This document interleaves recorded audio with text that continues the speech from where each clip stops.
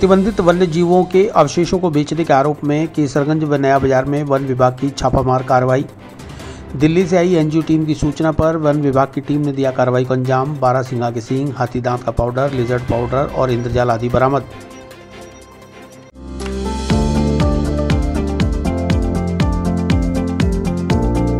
Mohan watch and mobile Ajmer शहर में चार प्रतिष्ठान आपकी अपनी मोबाइल की दुकान। हेलो एवरीवन मैं मोहन वचन मोबाइल पे आपका सभी का स्वागत करता हूँ। मेरी अजमेर में चार दुकानें आप कहीं भी जाइए, आपको सभी जगह सेवा भरपूर मिलेगी। आ जाइए मोहन वचन मोबाइल पे, आपकी अपनी दुकान जहाँ आपको मिलेंगे हर ब्रांड के लेटेस्ट मोबाइल और असेसरीज वो भी सबसे कम और किफायती दरों पर।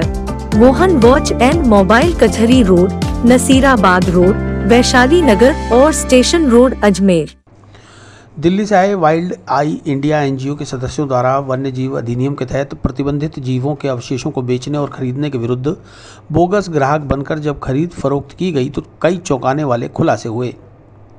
एनजीओ टीम को अजमेर में पंसारियों की दुकान पर धड़ल्ले से प्रतिबंधित जीवों के अंग बेचने की जानकारी मिली तो उन्होंने वन विभाग को कार्रवाई के लिए सूचित किया। जिस पर उप वन संरक्षक सुनील चिंद्री और सहायक वन संरक्षक नरेंद्र सिंह शेखावत ने तत्काल निर्देश देकर अपनी टीम के साथ रवाना किया। सबसे पहले केसरगंज शिव मंदिर के पीछे चोर बनिए की दुकान पर टीम ने कार्रवाई को अंजाम दिया, जहाँ बारह सिंगा के सिंह, हथजोड़ और इंद्रजाल जैसे प्रतिबंधित अवशेष बरामद हुए, जिस पर दुकान संचालक राजकुमार जैन को गिरफ़्तार कर लिया गया। इसके बाद टीम नया बाज़ार स्थित गुलाबचंद, लादूराम अत्तार और चंद्र नारायण नरेंद्र कुमार भंडारी की दुकान पर पहुँची, जहाँ बोगस ग्राहक ने प्रतिबंधित जीवों की डिमांड की तो उन्हें सहज उपलब्ध करा दिए गए। तत्काल टीम ने दोनों दुकानों पर कार्रवाई कर बारासिंगा के सिंह हथजोड़, इंद्रजाल, लिजर्ड पाउडर सहित कई प्रतिबंधित जीव अंगों को बरामद कर लादूराम, गुलाबचंद अत्तार की दुकान से आयुष अग्रवाल को और भंडारी की दुकान से राजेश सहित दो नौकरों को गिरफ़्तार कर लिया। नया बाज़ार में अचानक हुई वन विभाग की इस कार्रवाई से हड़कम मच गया और बाज़ार में लोगों की भारी भीड़ जमा हो गई। कार्यवाहक क्षेत्रीय वन अधिकारी राकेश मालाकार ने बताया कि लंबे समय से पंसारी की दुकान पर प्रतिबंधित जीवों के अंग बेचने की शिकायतें मिल रही थी, जिस पर एनजीओ टीम द्वारा दी गई सूचना के आधार पर कार्रवाई को अंजाम दिया गया है। पकड़े गए आरोपियों के विरुद्ध वन्य जीव अधिनियम के तहत कार्रवाई अमल में लाई जा रही है।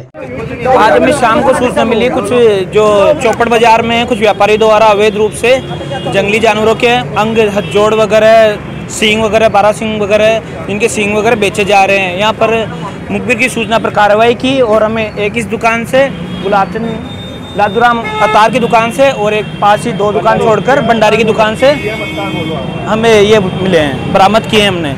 आगे बारह सिंगा के सींग बरामद किए हैं और इंद्रजाल।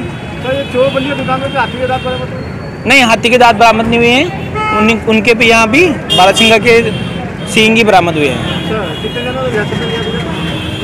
अभी तक एक चोर बनिया एक यहाँ से दो चार आदमी हिरासत में लिए हैं। एक वो मालिक मिला नहीं तो उसके जो काम करने वाले कर्मचारी उनको हिरासत में लिया है ताकि आगे की पूछताछ की जा सके।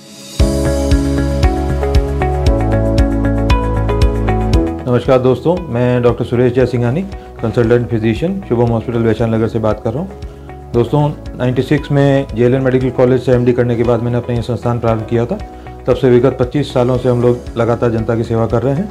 हमारे यहाँ अन्य बीमारियों के अतिरिक्त डायबिटीज़ थायराइड और गठिया रोग की विशेष जाँच और परामर्श की सुविधा उपलब्ध है। अगर आप इन किसी भी बीमारियों से ग्रसित हैं तो आप हमसे परामर्श ले सकते हैं। धन्यवाद।